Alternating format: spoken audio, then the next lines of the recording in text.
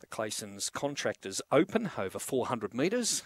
The Greyhounds are moving in. First here today went to Glenville Rose for Richard Clayfield. Tandiki took out the second for Tracy Price, and Rocket Fernando took out the previous for Dave Peckham. Now they're set for the fourth.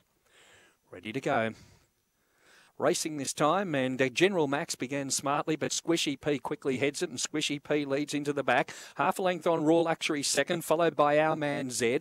General Max back second last, Wise Stella last of all. Off the back, Squishy P three in front, Raw Luxury trying hard, followed by Our Man Z, but around the turn and it's Squishy P straightening up clear. Squishy P scores by three, Raw Luxury second, third went to Our Man Z, followed by Wise Stella and General Max back at the rear. Race time recorded 22 and 80 odd. And no problems there for the favourite Squishy P. Began with them, quickly took the lead. Raced away down the back and has held off Raw Luxury, who battled on in second placing. And number four, Our Man Z, gets third.